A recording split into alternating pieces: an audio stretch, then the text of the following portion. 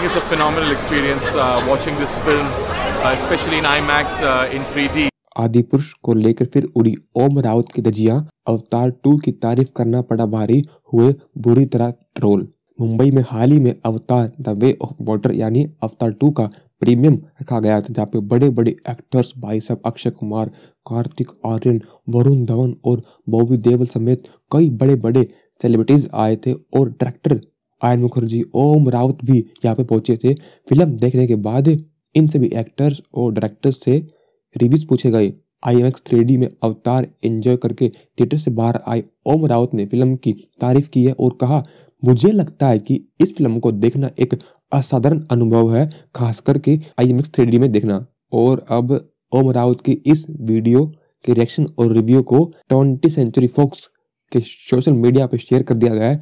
Video जैसे ही social media पे वायरल हुआ, ओम राउत की फिर से धज्जियाँ और ट्रोल और नेगेटिव कमेंट आने शुरू हो गई, जहाँ पे नेगेटिव कमेंट्स की बुछार दी गई। वही आदि पुरुष को लेकर ओम राउत की धज्जिया उड़ा दी।